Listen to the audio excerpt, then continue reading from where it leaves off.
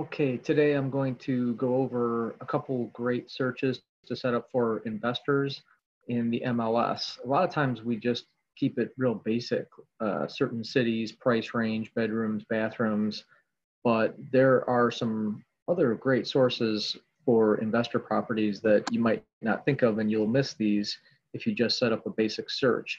So first I'm logged in the MLS here. I'm gonna go into my portal that I've set up for myself because I'm also looking for deals.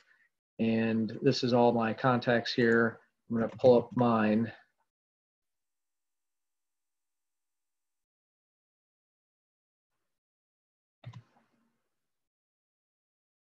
Searching by my last name, of course. There I am. And so I've got a whole bunch of auto emails set up that deliver houses to me on a daily basis. I'm going to show you how to set up a search for estates. Uh, I think regardless of the area, a lot of times estates are good uh, opportunities to get deals on houses because a lot of times the people don't really want the house. And especially if you can come in with a cash offer, it's a great, a great opportunity to get a deal. Um, the other two searches I'm going to show you today are short sales because again, I think this is an untapped market. A lot of investors don't really care how long they wait for a closing. So uh, these are opportunities that other people might not be looking at. And then I'm going to show you how to set up a vacant and then a certain days on market or more search. Uh, so these are homes that are vacant and have been on the market for a long time. So these are three searches I have set up for myself. I'll show you how to do it. So we're going to look at residential. This is for you know opportunities on singles or, or, or condos if you want to include those. I'm looking only at uh, active or coming soon. Uh, so the first one we'll do is estates. This one's pretty simple. Um, we'll say we're looking in several different counties. Let's say Cuyahoga, Geauga, and Lake. And it's pretty simple. Uh, there really aren't usually that many estates. So uh, we go down to ownership.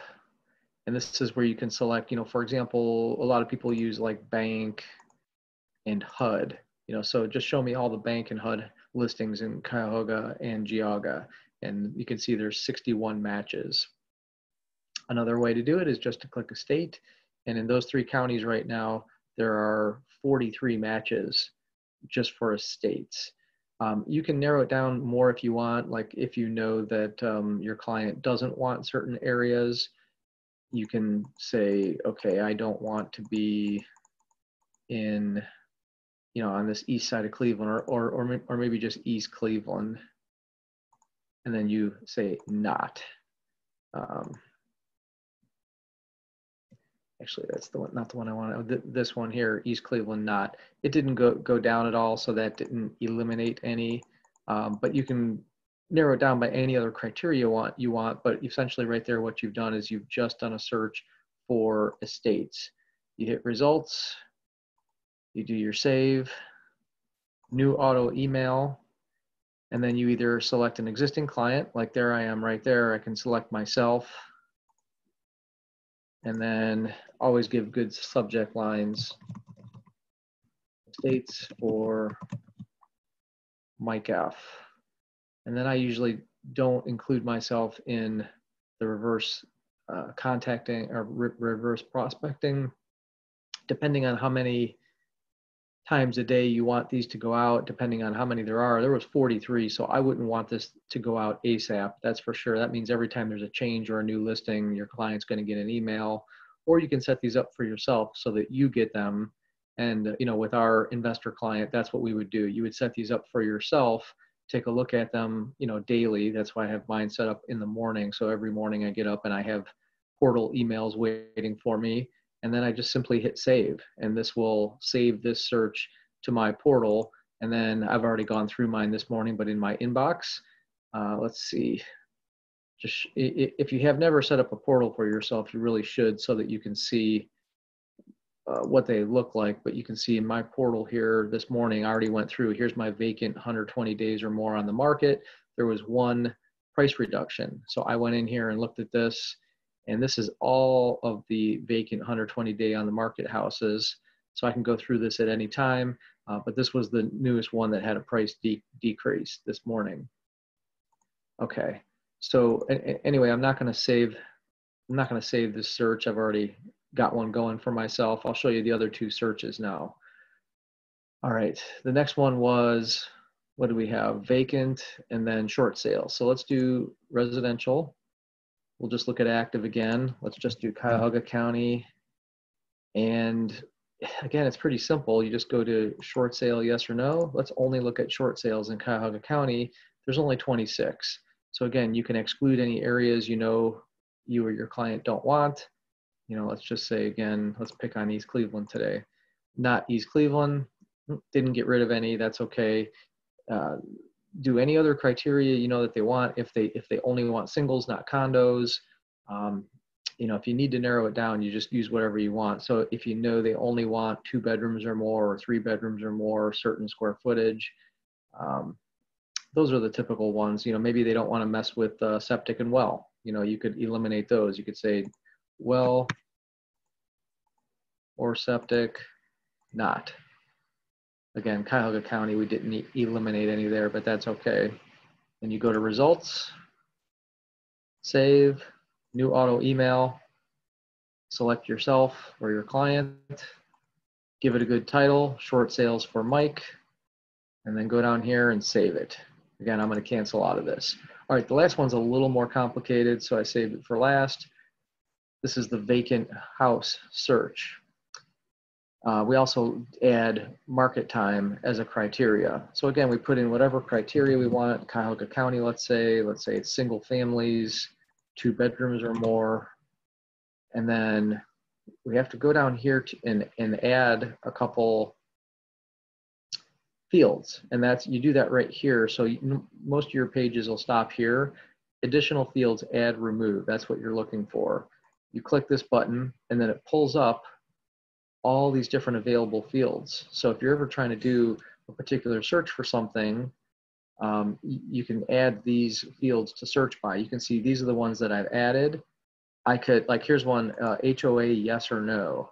You know, that's a required field on the MLS and there's some people that just don't want to be in an HOA. So I added that field to my search criteria so that I could, I could use that. If I want to get rid of it for some reason, I can remove it um, but typically once you've added them, it's not like it bothers you that much. It's way at the bottom of your screen.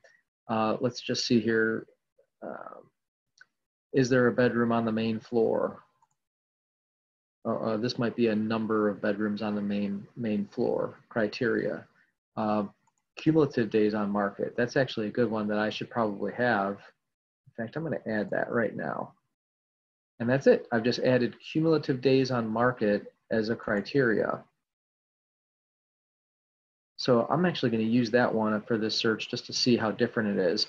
You know, because the interesting thing is if you just do days on market, that's just this time around. If it has been listed over and over again, you might say, let's take a look at everything that's 120 days or more cumulative days on the market. Um, the only reason you might not want to do that is if it's just been relisted, they may not be ready for a low offer. But, uh, you know, you can use that criteria if you'd like. Um, let's see, what else did I do here? Oh, 120 days or more cumulative days on the market. Um, this is all of Cuyahoga County single families. Oh, the other criteria, the other important one, I added occupant type. That was from that add remove fields. And I want to only see vacant homes that are 120 days or more cumulative on the market. These are homes that people have moved out of and for whatever reason are vacant and they've been on the market a while. Uh, obviously, the 138 matches in Cuyahoga County, uh, we want to narrow that down a lot. Otherwise, that's a lot of houses to, to go through. And that's where I would probably go through these cities and decide which cities the client or I am really interested in. So, you know, like if we knew they weren't buying in these neighborhoods of Cleveland, for example,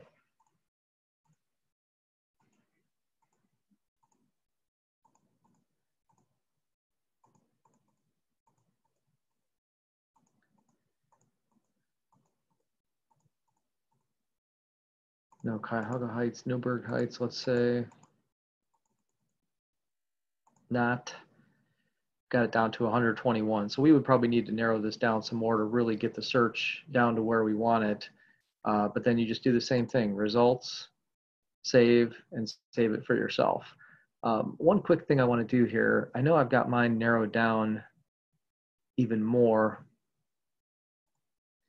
Want to see what criteria I might be missing. And this will also show you how I adjust a search uh, once I've put it in, if you've never gone in and made changes to a search. So I'm going, I'm searching for myself again. There I am. I'm gonna go into my auto emails, 120 days or more on the market. Here's where I can go into the criteria of that search and now I can see exactly what I've done. Okay, I, one thing I do is I don't look at coming soons. I'm looking at singles or condos. Cuyahoga County, and then I have actually, uh, in my search, I've chosen certain cities that I'm interested in. So these are all the cities that I would be interested in. You know, I've set this up for myself.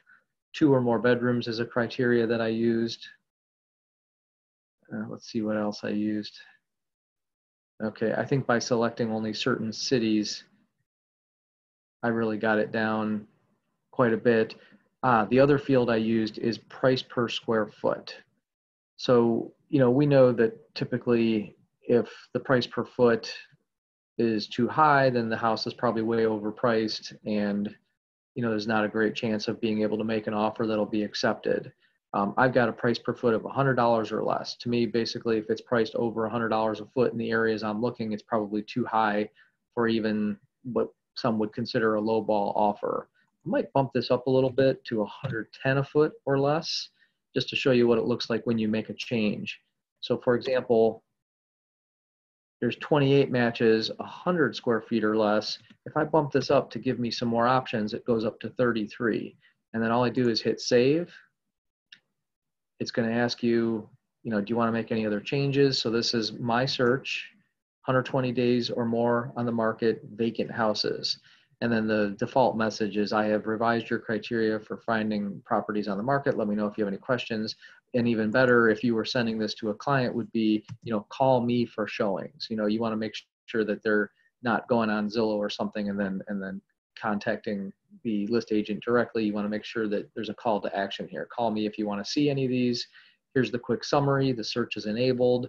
It goes out every morning and I hit save, and now I've got 33 instead of 28 matches in my vacant 120 days on the market search. So those are three great searches you can set up. I would recommend that you guys set these up for yourselves or for your investor clients.